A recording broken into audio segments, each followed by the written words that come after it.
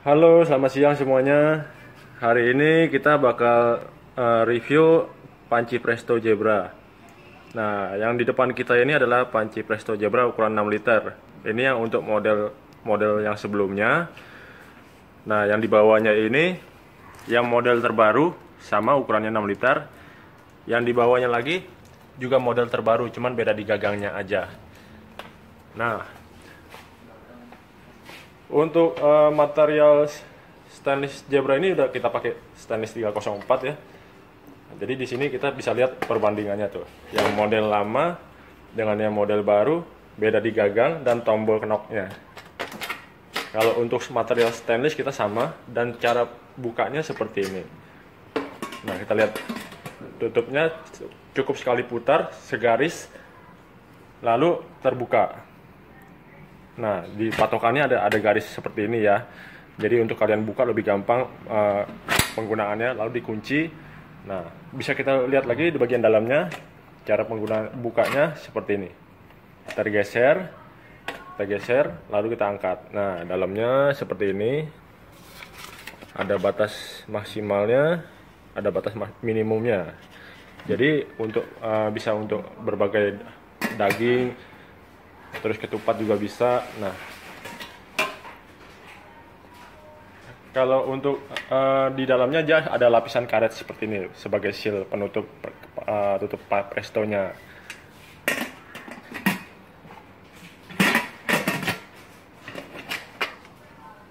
Jadi cukup mudah ya penggunaannya. Nah ini di bawahnya seperti ini tampilannya. Eh, sudah double bottom, lebih tebal. Untuk kompor induksi bisa, untuk kompor biasa bisa. Nah, ini kita lihat lagi cara penggunaannya. Pertama kita geser knopnya. Lalu kita geser, kita angkat Ter. searah. Nah, seperti ini. Nah, ini lagi kita lagi coba pakai untuk eh, masak air. Tes. Nah, ini tutupnya seperti ini dalamnya. Untuk spare partnya kita juga jual seperti karetnya, karet Presto kita sediakan. Jadi kalau di rumah Presto Anda karetnya sudah tidak bagus, kita masih jual spare partnya. Nah, ini kalau kita pakai bisa buat masak daging apa aja ya, Pak ya? Iya. Ikan, Ikan. ayam, daging Oke, itu variasi waktunya berbeda-beda. paling lama berapa menit ya, Pak ya? Paling lama biasa daging ya 30 menit. Daging 30 menit ya. Hmm. Jadi itu benar-benar sampai lunak sampai empuk ya untuk memaksimalkan rasa makanannya. Nah ini kalau eh, panci presto ini bisa kita bu- buat apa aja ya selain untuk eh, presto? Kita bisa buat goreng juga ya bisa ya? Bisa, cuman nggak perlu pakai tutup. Iya. Kalau mau goreng tanpa tutup bisa juga karena di bawahnya sudah double bottom jadi aman. Iya. Nah, jadi kalau eh, penonton di rumah nih lagi cari cari panci presto yang harganya eh, cukup berkualitas lumayan. Nah, ini salah satu pilihannya cocok dipakai untuk Zebra.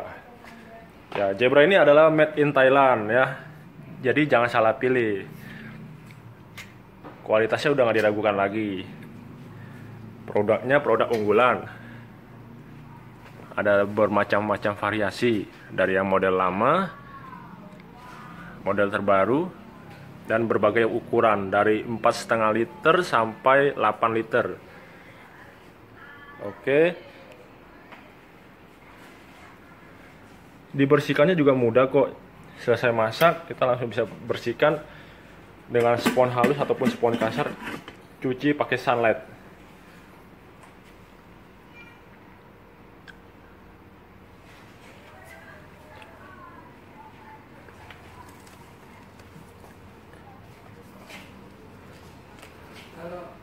Eh, untuk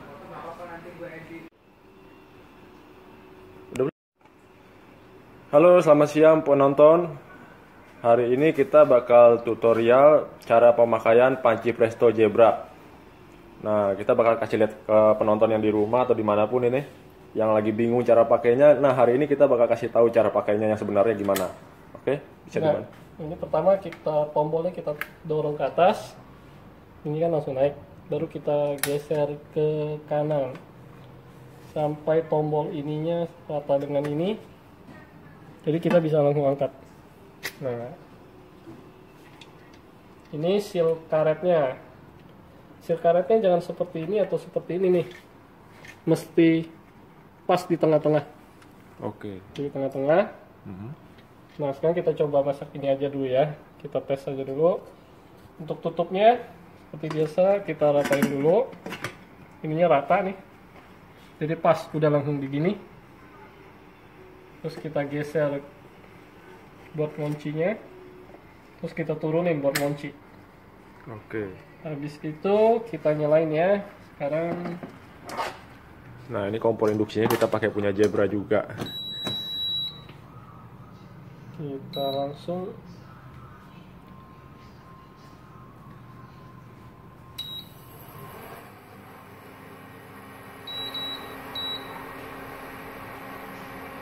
nanti begitu dia mendidih tombol ini akan naik cuman nggak terlalu kelihatan ya Oke. nah dari situ baru kita hitung tuh berapa waktunya Mhm. misalnya kalau ayam 25 menit atau 20 menit tergantung kita mau kadar lunaknya Oke. Jadi setelah tombol ini naik, setelah dia bunyi, baru kita hitung waktunya. Jadi rata-rata variasi waktu yang diperlukan kira-kira berapa menit ya Pak ya? Eh, tergantung masakannya ya. Kalau daging bisa 30 menit, kalau ikan 20 menitan. Mm. Jadi cukup nggak terlalu lama juga ya untuk Iya. memaksimalkan eh, hasil yang di dalamnya. Iya.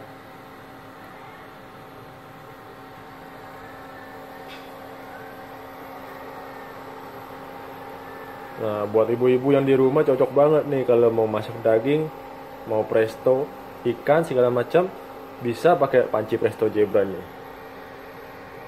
Harganya juga nggak terlalu mahal, tapi kualitasnya juga oke, kualitasnya bagus.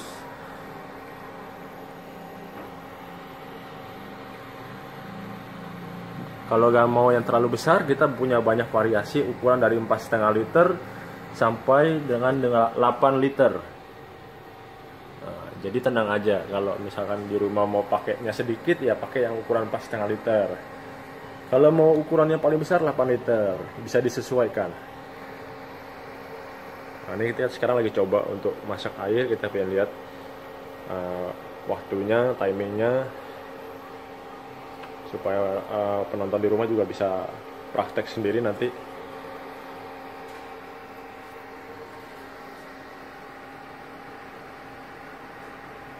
Nah, kalau keunggulan dari produk Zebra ini ya kita ada garansi untuk karat dan hitam. Jadi nggak perlu khawatir kalau sewaktu-waktu Anda membeli produk Zebra dengan keluhan ada karat atau hitam itu bisa digaransi.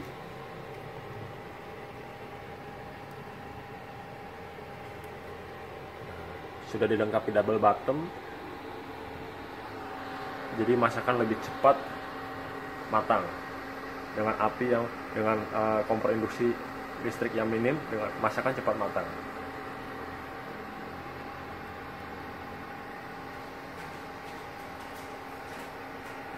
Nah, yang ini kita lagi pakai kompor induksinya Zebra. Harganya sekitar kurang lebih eh, 2 jutaan.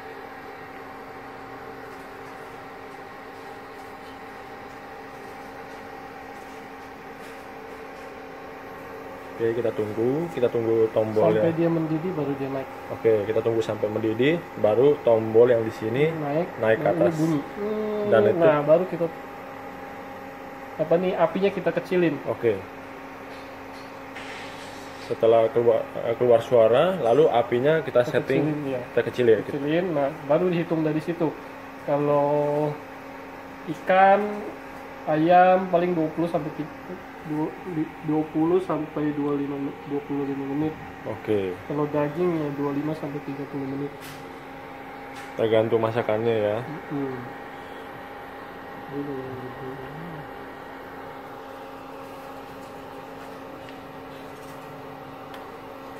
Nah, kalau untuk yang presto Presto model lama ini kita menggunakan dua gagang kanan kiri untuk pembukanya.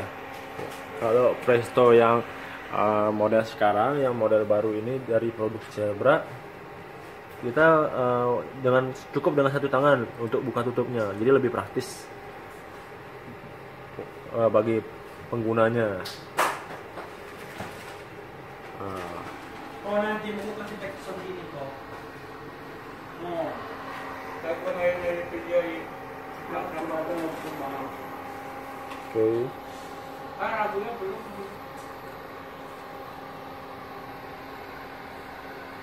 Kita ada suaranya, ini masih bisa doang. Nah, kepotong-potong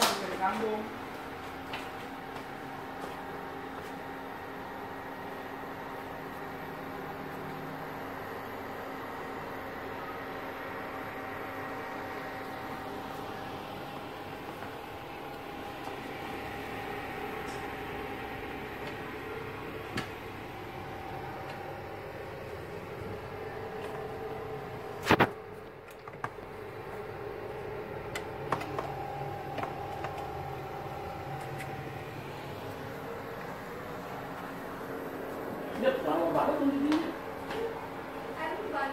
Kalau pakai pakainya berapa? Minggu empat ratus. Eh, enggak lah. Lo tapi dua ribu nggak? Enggak lah.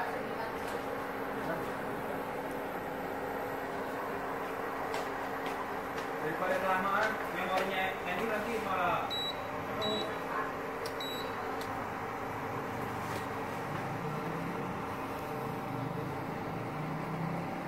Nah, ini jadi kalau kalian menggunakan produk Zebra ini panci Prestonya kita jual beberapa spare partnya jadi kalian nggak usah khawatir seperti karet dan uh, beberapa lainnya bisa kita jual di sini di Zebra Shop di showroom untuk menjamin kepuasan penggunanya.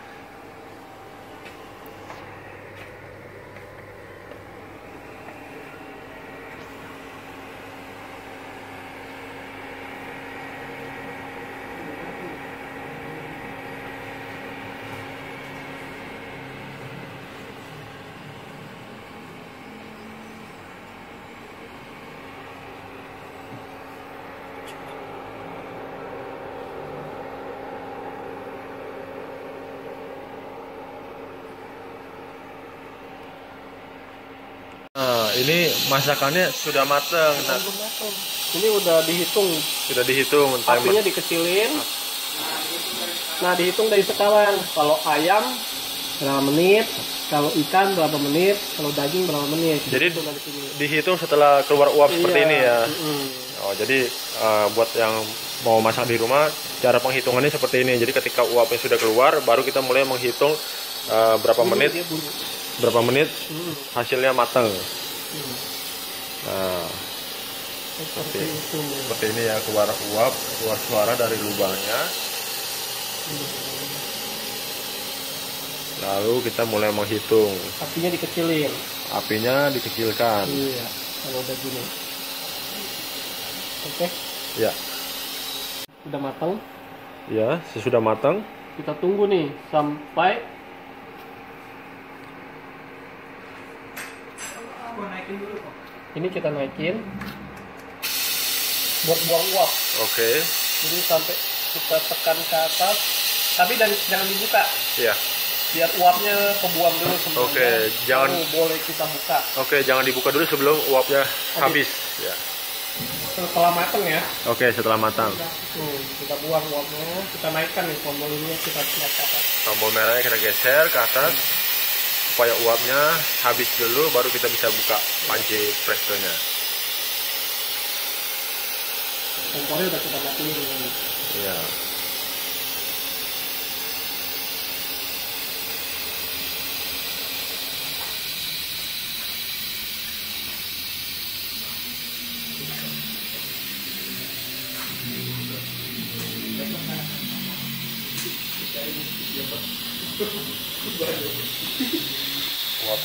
hampir habis kita tunggu sebentar lagi supaya kita bisa buka tutup panci prestonya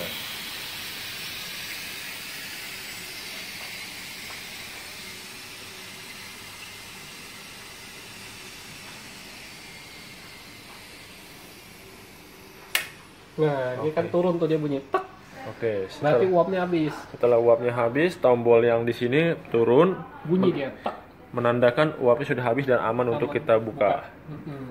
Nah, cara pembukanya kembali Tapi ini seperti kan udah di Oke. naikin. kita Tinggal geser. geser.